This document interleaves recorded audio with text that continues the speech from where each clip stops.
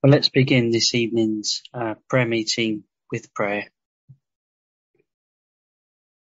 Dear Lord God, our Heavenly Father, we do truly thank you for, Lord, this opportunity of meeting again as your people. Father, we thank you for the blessing of having your word in our own language, of having it clearly uh, translated and, Lord God, so that we can read it and understand it Father, we thank you for the blessing of prayer, Lord, as we meet on Thursdays at the moment for prayer. We thank you for the blessing of prayer. But Lord, we just pray, Lord, tonight that you would uh, speak through your word to us. Help us, uh, Lord, help me to, to speak. Help me to, to bring your word, guide and bless. And Lord, help us as we listen to your word.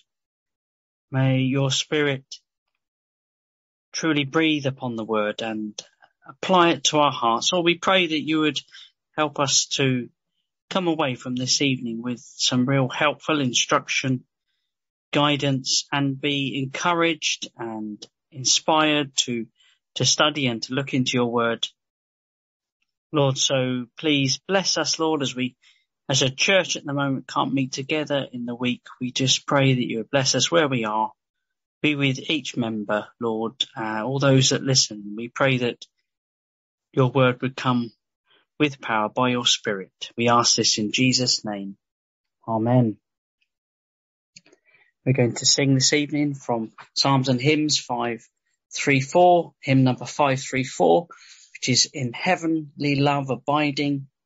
No change my heart can fear, shall fear. And safe is such confiding, for nothing changes here. The storm may roar without me, my heart may low be laid, but God is round about me, and can I be dismayed? That's 534 in Psalms and Hymns.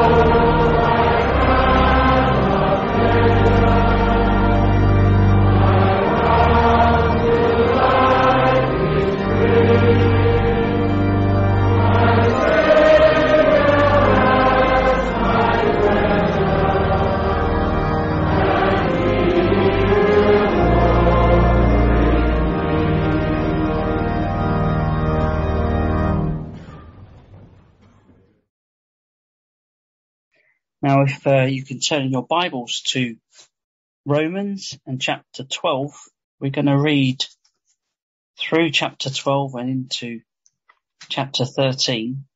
Romans chapter 12, and much of the study will be on the latter verses in chapter 13, these the beginning verses of chapter 13.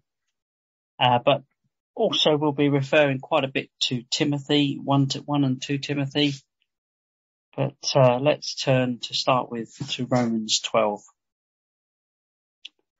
I beseech you therefore, brethren, by the mercies of God, that you present your bodies a living sacrifice, holy, acceptable to God, which is your reasonable service. And do not be conformed to this world, but be transformed by the renewing of your mind, that you may prove what is that good and acceptable and perfect will of God. For I say, through the grace given to me, to everyone who is among you, not to think of himself more highly than he ought to, to think, but to think soberly, as God has dealt to each one a measure of faith. For as we have many members in one body, but all the members do not have the same function.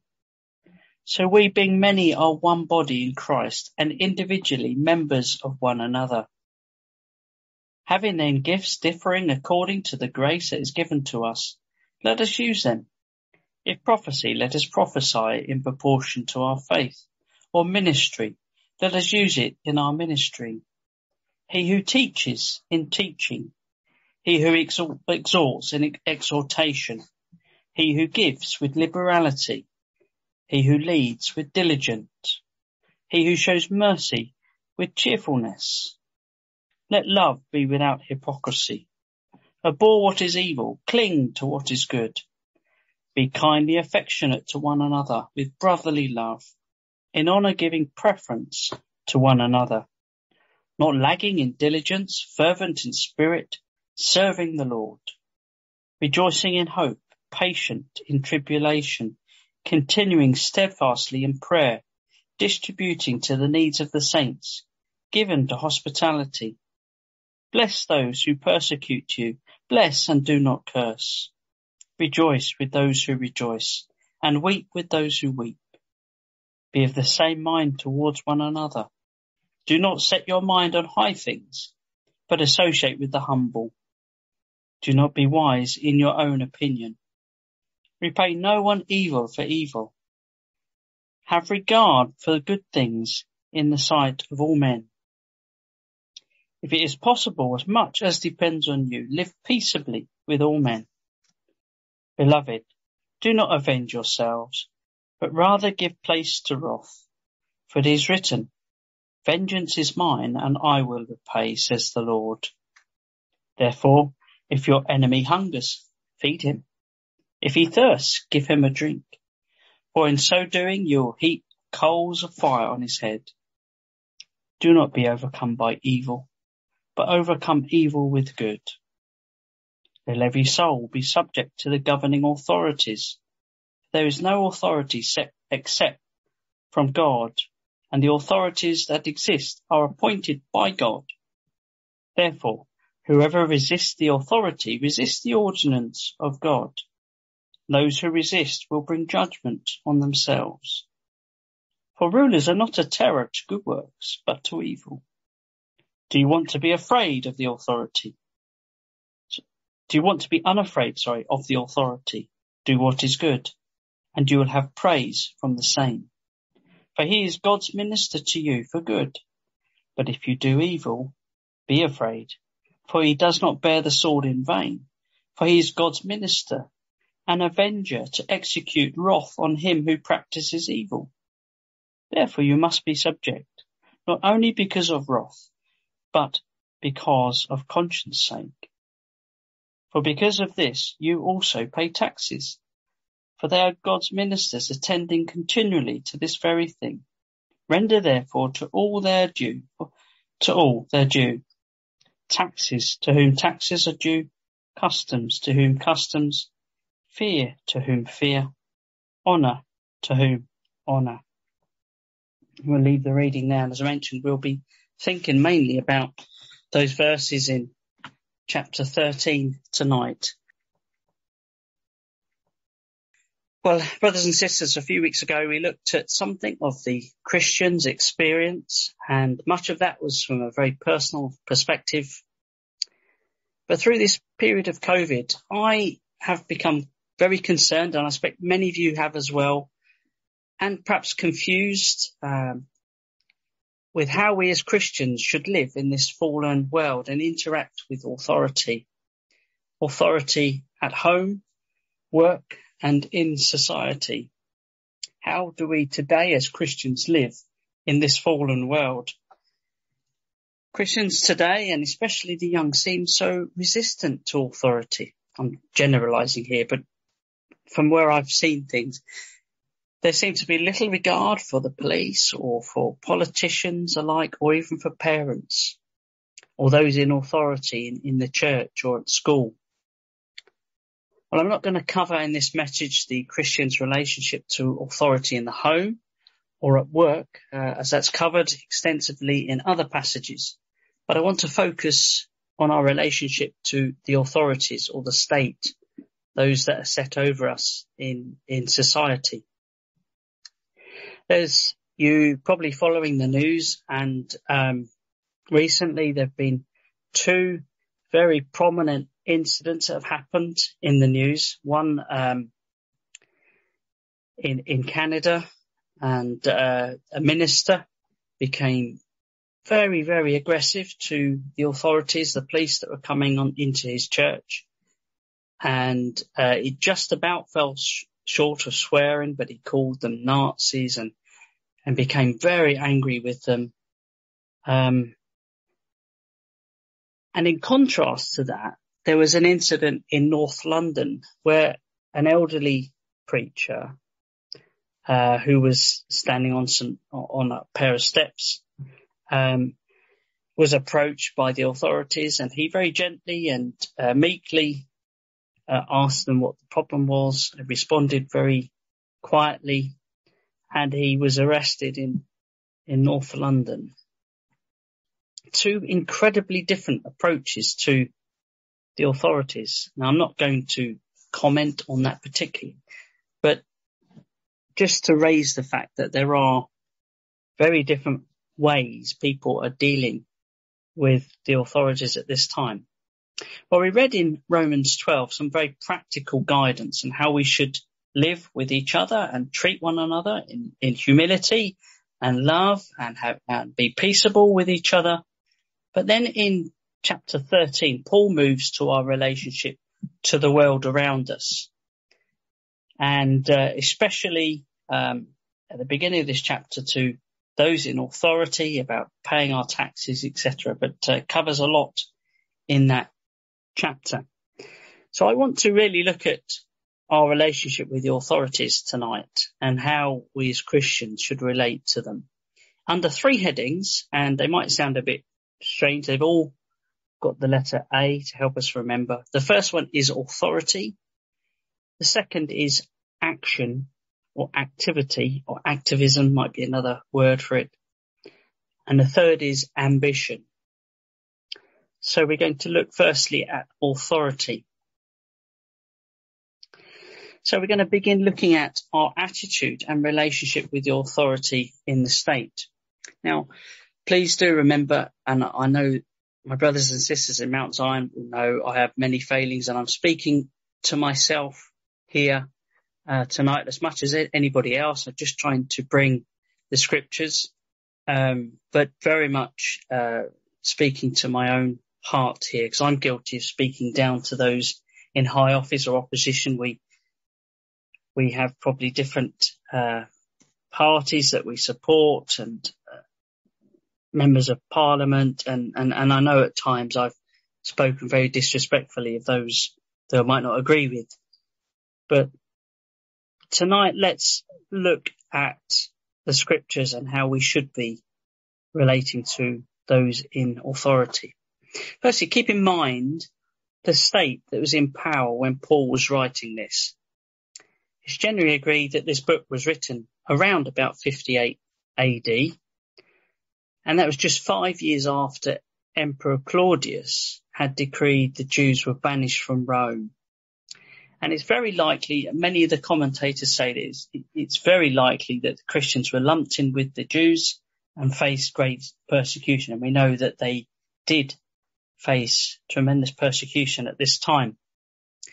But it's against this backdrop and the anti-Christian society Paul lived in that Paul gives the new believers these instructions. So keep that in mind.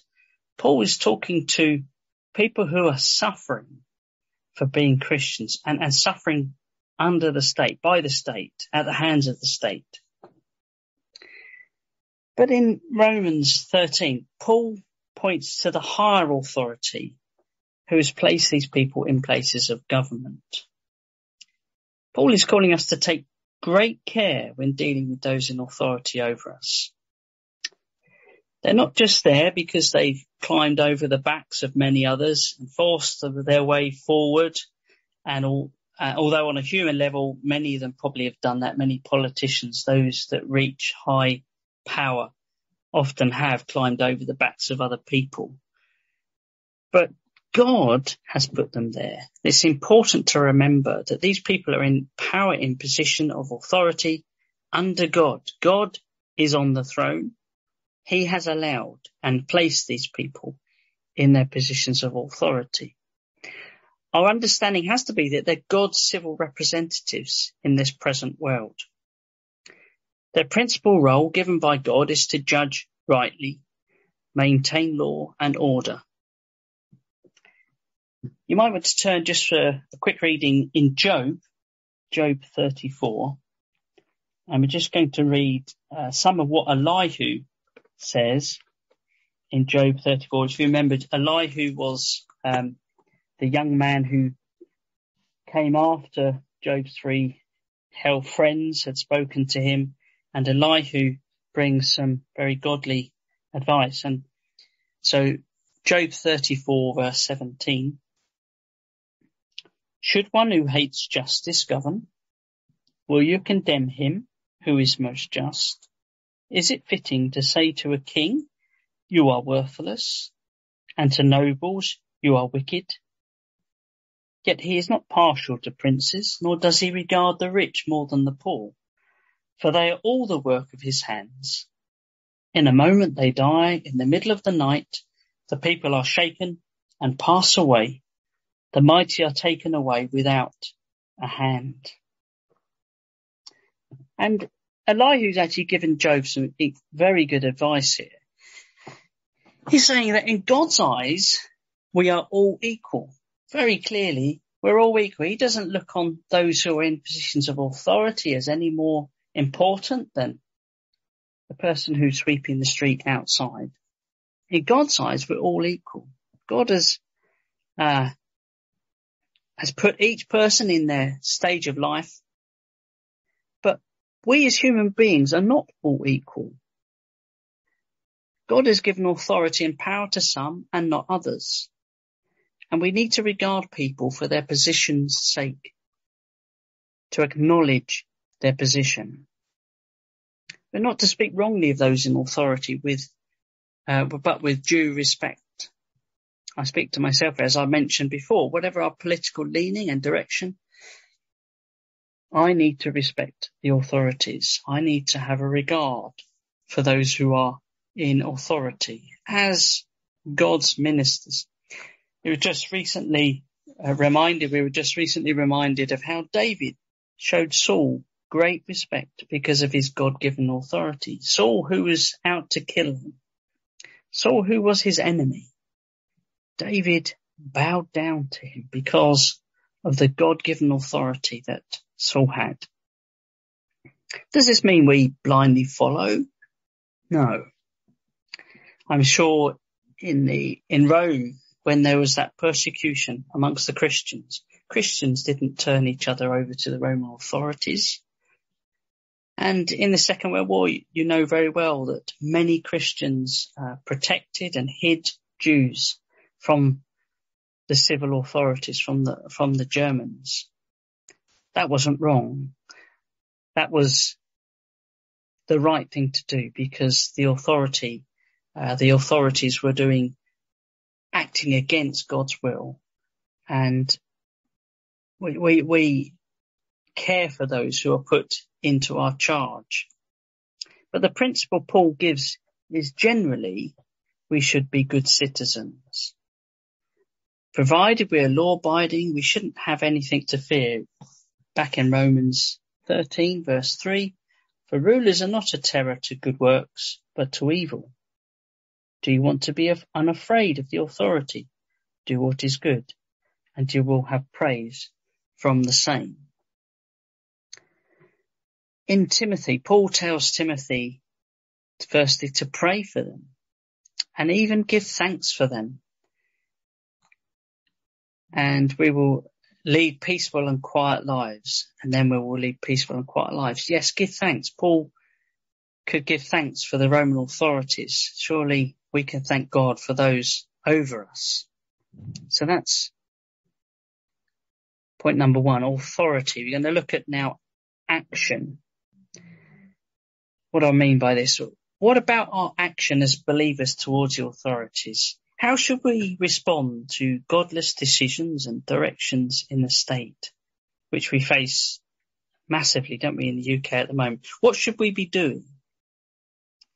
Well, the backdrop to these, this question, these questions is I've seen a growing activism amongst Christians, especially the young, as I've mentioned before, younger generations.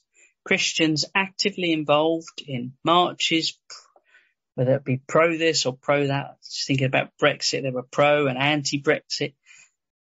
BLM, Black Lives Matters, and people very strong views on that. Saving the planet. I was talking with Eric on Sunday about Extinction Rebellion uh, pro-life or pro-choice. I'm not going to go into what's right or wrong there, etc., etc.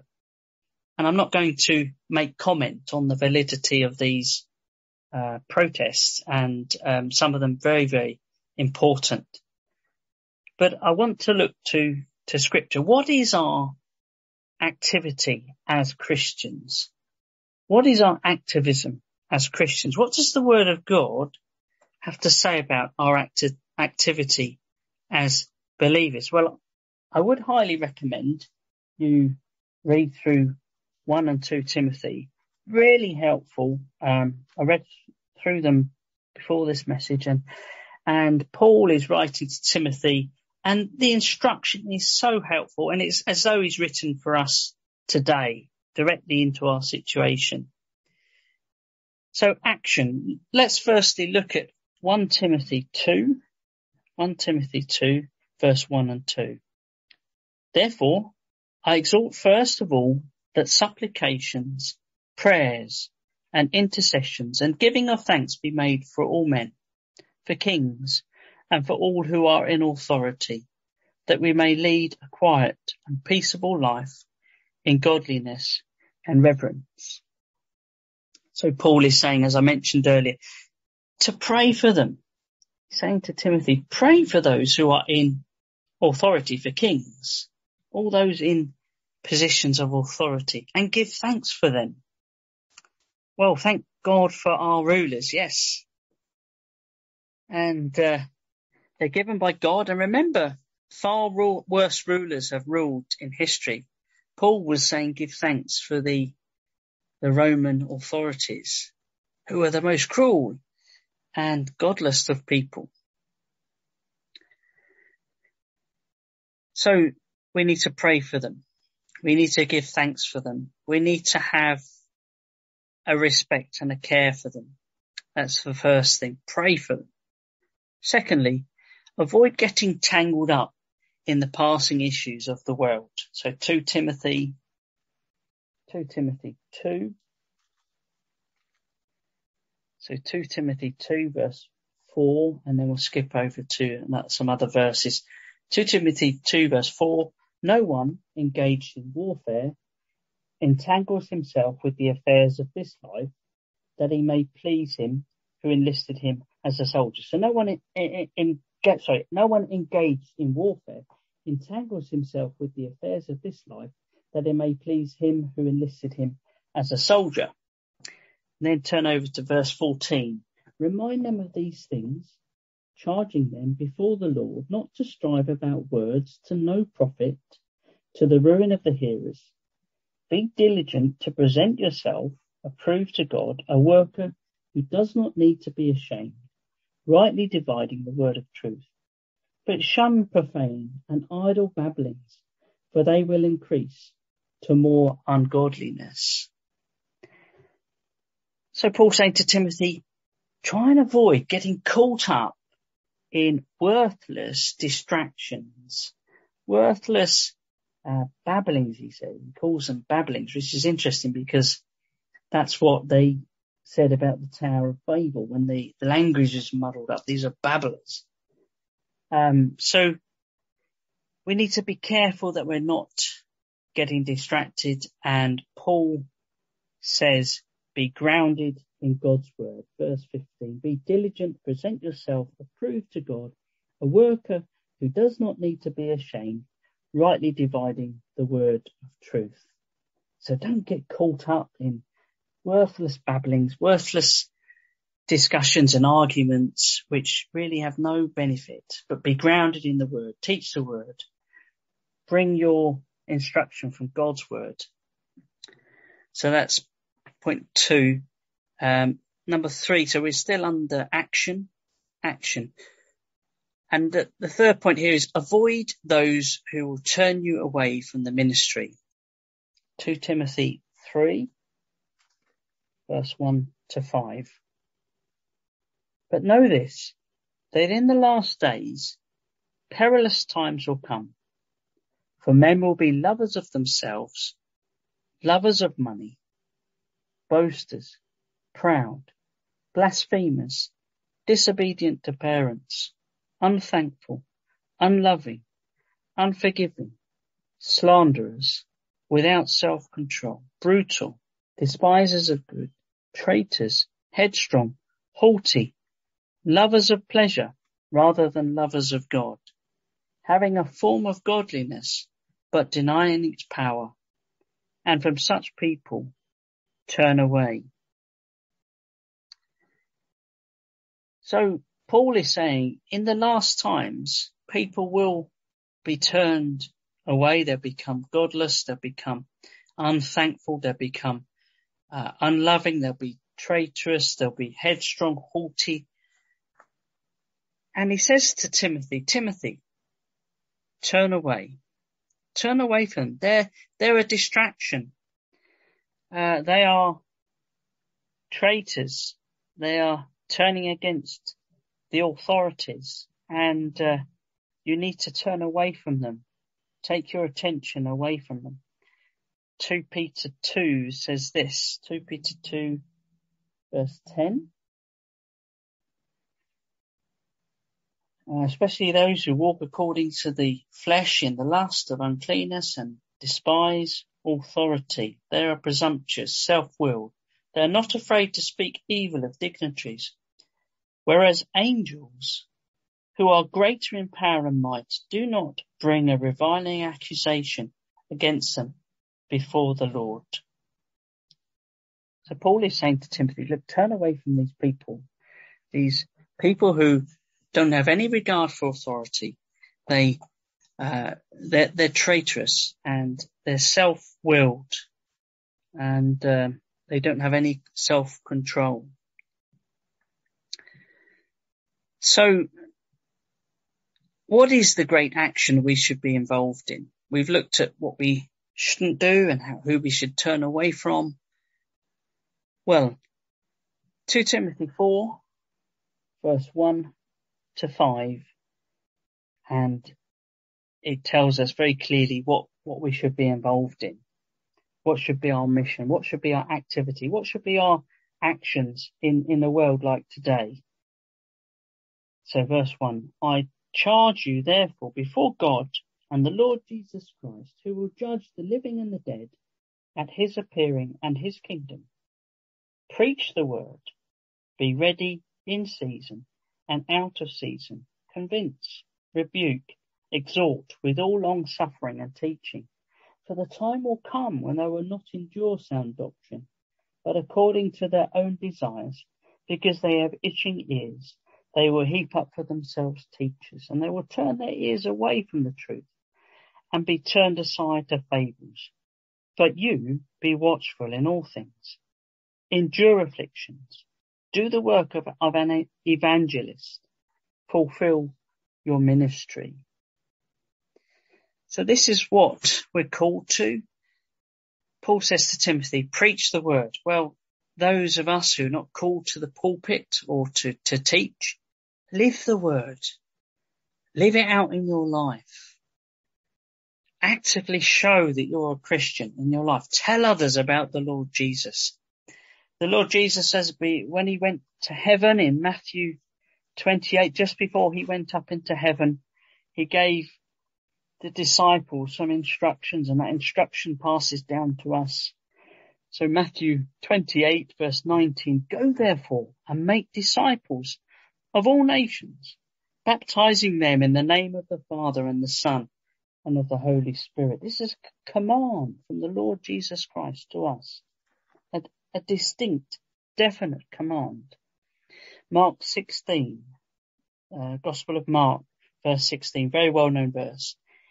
He who believes and is baptized will be saved. Uh, sorry, verse 15. And he said to them, go into all the world and preach the gospel to every creature. That's our mission. That's our commission. That's what we've been called to do. So what do we do about these issues that are arising? What action should we be taking? Well, some people are called to a life of influence, aren't they? We think in history, uh, Lord Shaftesbury, Wilberforce, William Wilberforce, uh, in the current world where there are Christian politicians and there's uh, personalities. I think of uh, Dan Walker who works for the BBC. You know, we should be actively praying for them. We need to thank the Lord for Christians in these positions and we need to be praying for them. And where we are called to maybe raise concerns, we can do that. We can add our name to a, to a list, can't we? To, we can sign a petition. We can be involved in that way and even have an influence on the direction of law. And that's right. But you know, there's even something more important we can do as our nation becomes more and more godless and rules and laws are damaging people especially our young people being influenced by such evil laws. These, these young people and uh, adults are being damaged and twisted and being chewed up by the state and being told you can do this and you can't do that. And they're, they're all at sea. They're in a quandary. Well, we can help them. We can pray with them. We can instruct them from the word. We can teach them what the word of God says.